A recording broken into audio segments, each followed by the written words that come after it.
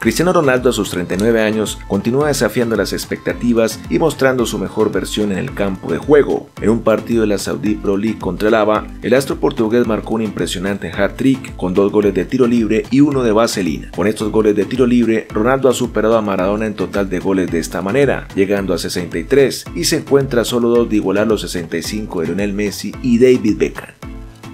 El equipo de Ronaldo dominó el partido desde el principio, marcando cada vez que tuvo la oportunidad. CR7 abrió el marcador con un tiro libre en el minuto 11 y luego agregó otro gol desde una posición similar en el minuto 21, seguido de un gol de vaselina espectacular cerca al final del primer tiempo, llevando el marcador a un impresionante 4 a 0.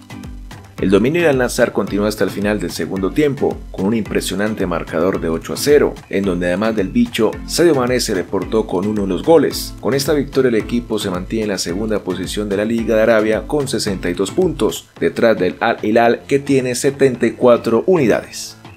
En otra información, la Kings League Américas ha anunciado la fecha del Final Full para terminar al campeón de la competencia, programado para el 4 de mayo en la Ciudad de México. La liga se encuentra en su fase final del torneo regular, preparándose para los playoffs que tendrán lugar a finales de abril. Real Titán ha asegurado su lugar en la liguilla y en la Kings World Cup, mientras que Chicharito Hernández protagonizó un incidente durante un partido el pasado fin de semana.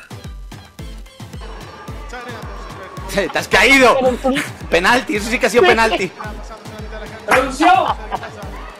Vamos. ¡Al palo! Vueltas que le doy el penalti. El evento se llevará a cabo en el Estadio Azteca, con la venta de boletos disponible en una preventa exclusiva para clientes del Banco Santander del 8 al 10 de abril. Los boletos estarán disponibles desde 100 pesos mexicanos a través del portal Ticketmaster.